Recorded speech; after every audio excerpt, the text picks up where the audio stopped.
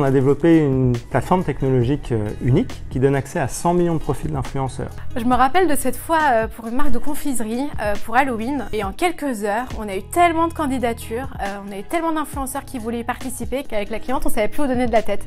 C'était juste incroyable.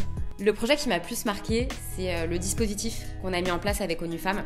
On a mis en place une opération euh, pour lutter contre le féminicide. Et ce qui était très important pour moi, c'était de pouvoir défendre euh, mes valeurs à moi et soutenir la cause. I have the opportunity with Influence for You to uh, live my perfect day every day, even if it's virtually.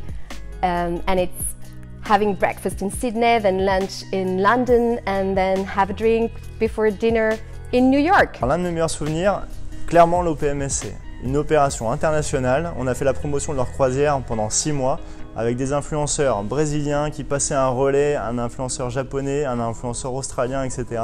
Ils nous ont fait voyager pendant six mois. On a un métier où on a énormément de chance parce qu'on vit des, des, moments incroyables, notamment avec les talents. Je me souviens d'un voyage en Guadeloupe, par exemple, où on a fait euh, l'ascension d'un volcan, on a allé se baigner, mais on avait aussi plein d'ateliers professionnels et on peut vraiment... Euh, mêler l'utile à l'agréable et créer un lien hyper fort avec ses talents. Et c'est un peu la base de notre métier et c'est ça qui le rend hyper riche en fait.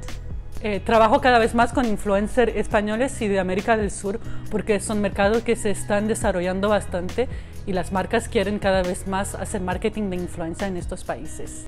Aujourd'hui, il y a des vidéos qui font 40 millions de vues, c'est deux fois plus d'audience que la finale de la Coupe du Monde de football.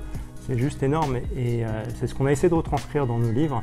Par exemple, notre premier livre qui était 87 idées pour euh, vos campagnes d'influence et le second qui est l'influence marketing pour les CEO, c'est vraiment faire prendre conscience que l'influence marketing est le média de demain qui aura plus d'impact que la télévision.